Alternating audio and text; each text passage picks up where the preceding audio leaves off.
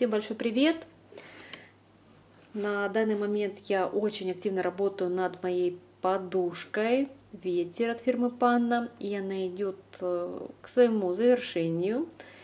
И вы знаете, в такой момент, когда уже что-то завершается, внутри вот у меня возникает сразу такое ощущение мысли, э, мысленно я перебираю свои либо текущие процессы, либо что-то новенькое, вот что я буду вышивать следующее. Ну и вот недавно я показывала вам свои приобретения, пришла моя долгожданная мирабилия. Я думаю, что это самый-самый подходящий момент. Ну, даже не можно сказать, что это не подходящий момент, просто вот хочется мне уже начать э, попробовать хотя бы немножко повышивать мирабилию.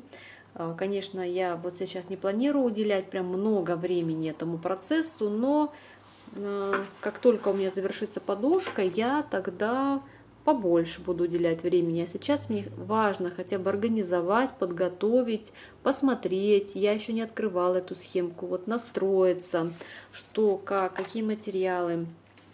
Очень интересно.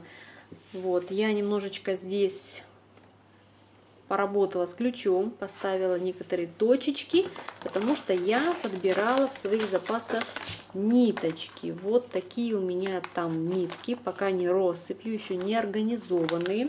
Но сейчас я это буду делать, возможно, что-то с вами, а что-то я буду делать, ну, как бы не на камеру, не будет это занимать, чтобы не занимать много времени. И вот в частности я хочу открыть и посмотреть э, схему. Мне же нужно будет сделать также копию схемы. Это же нельзя прям оригинал черкать, а я без черкания не могу.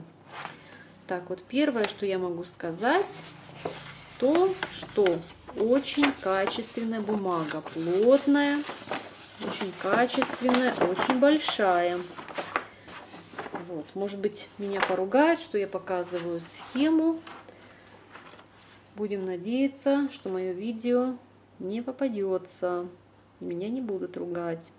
Ну, хотелось мне немножко показать, хотя бы вот э, частично, и самой посмотреть. Так, большой формат, качественная бумага, очень качественная печать. Очень качественная печать, все хорошо видно, все значки. И на первый взгляд, вот так вот, не сильно разбираясь, есть участки, которые вышиваются легко, прям такие пятна цветовые большие. Есть участки, где ну, есть небольшое смешение цветов. Но я не могу сказать, что здесь что-то прям очень сложное. Вот, есть здесь э, отдельно, вот так мы покажем, отдельно вынесено лицо показано, как оно вышивается. И на образце здесь представлен крестик. Но я слежу за видео девочек, кто вышивает мирабилию. В основном это Люда, крестись без Люда. Очень много их вышивает. И у нее очень красивые петиты получаются. И ее мирабилии получаются очень красивыми.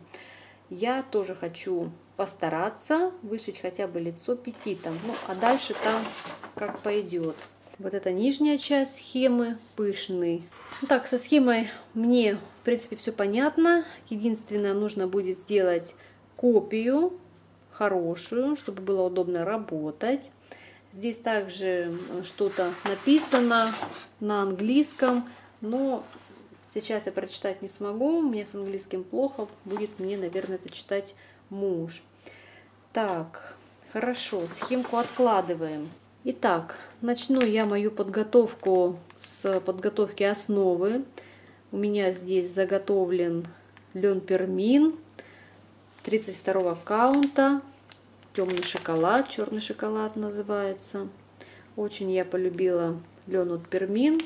Мне будет приятно с ним работать. Вот так хочу показать на камеру цвет темно-темно-коричневый, темный шоколад. Хорошо накрахмаленная основа. Ну, большой кусочек, мне не помещается показать вам на камеру, но вот половинка почти видна, почти. Вот, а целый мне не получится его сейчас открыть. И так как здесь э, вышивка идет на темной основе, это еще один как бы плюс или за, чтобы начать работу именно сейчас, потихоньку начать вышивать, потому что мелкий каун, темная основа, всегда тяжело вышиваются такие работы. Я люблю начинать вышивать снизу вверх, а внизу у меня здесь темные оттенки ниточек. Вот буду вышивать темным по темному. Но есть, конечно, вкрапление яркого, но есть и темные оттенки, поэтому нужно будет очень хорошо подготовиться. Так, я, наверное, отключусь. Сейчас подробнее изучу мою схему, подготовлю мой кусочек льна, но потом дальше буду готовить ниточки. Поэтому вы не уходите. Увидимся в следующем фрагменте. Итак, девочки, я к вам возвращаюсь с моей подготовкой к процессу мирабилия Blooming Bright. А, подготовка у меня затянулась на целую неделю, и в частности из-за разбора ниточек. Ну вот сегодня я нашла время, прекрасный солнечный день, и хочу показать вам, на каком этапе я нахожусь к подготовке вот к этому процессу замечательному. Я просто в предвкушении хочется сделать первые крестики. Ну, в первую очередь я сходила на работу и попыталась сделать копию схемы. Но я откопировала просто вот два листа нижних. Для начала процесса мне хватит. Что могу сказать по схеме? Схема а, мелкая, Значки есть очень похожие. Все это рябит в глазах. И со схемой нужно работать. Либо ее нужно увеличивать и в любом случае раскрашивать. Э, Наверное, нужно делать и увеличение, и раскрашивать. Ну, даже вот мелкую схему как минимум нужно раскрашивать. Все рябит в глазах. Схема непростая. Ее, в общем-то, нужно вышивать, э, с ней работать нужно очень-очень аккуратно. Вот, это то, что касается схемы. Откладываем пока. Во-вторых, я поработала с сольном. Я обработала края льна лаком для ногтей. Я так всегда делаю для удобства. Лен, потому что он очень осыпается. Дальше я хотела сделать разметку, но это оказалось выше моих сил, так как здесь э, на темной основе вот эти дырочки, они, конечно, видны, но так сложно считать по две ниточки на, на конве на иде. Это делать, в принципе, легко. Так, собака-то моя никак не уляжется. Ну, давай уже садись.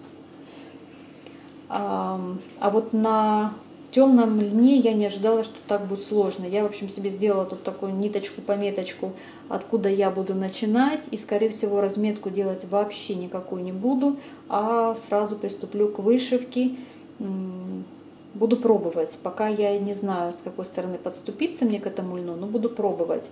И одела я пока на пяльца. Я вначале одела на кюснапы, но вот здесь э, с краю кюснапы плохо держали, проскальзывали, и поэтому я решила пока начать на пяльцах. Даже лучше пяльцы, они более легкие. И вверху рулончик я закрепила вот на такие булавочки. В общем-то, первым крестиком я готова. Здесь у меня канва подготовленная. Я думаю, что можно приступить. Так, ну и следующий этап был это организация и подбор ниток. Ну, в общем-то, большая часть ниток ДМС нашлась в моей коллекции. Я их сразу выбрала. Кое-каких ниточек мне не хватило. Порядка 10. 8 из них я успешно заменила на ПНК, то есть я сверяла по карте цветов ДМС с оригинальной сразу ниточкой. Ну, надо же мне куда-то использовать э, с моей ПНК, у меня их целая палитра. Вот, и 8 здесь оттенков идут ПНК. Два цвета мне не удалось подобрать, поэтому я их докуплю в палитре ДМС. Ниточки у меня здесь пока такие а, с заломами, потому что они были на бобинках. Ну вот я их нарезала развесила. Они немножко разной длины, все в зависимости, как были они на остатки какие-то, на моточки, э, были в бобинках. Поэтому какие-то немножко разной длины, но для меня это не принципиально важно в данном случае.